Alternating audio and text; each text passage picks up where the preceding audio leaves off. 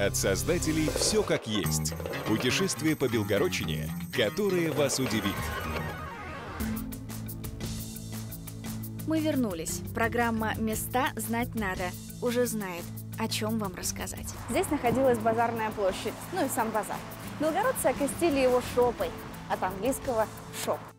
Белгородская мужская гимназия имени герцога Эдинбургского. Учиться было престижно, Воспитанники имели вид свежий и здоровый. но тяжело. Физика – тройка, история тоже тройка. Да, неважно, учился сын священника Михаил Михайлович Лебедев.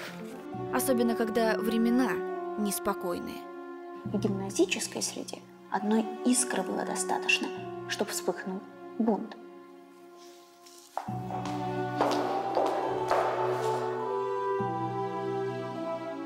Смотрите в программе «Места знать надо» на телеканале «Мир Белогорья» во вторник, 2 июня в 20.00.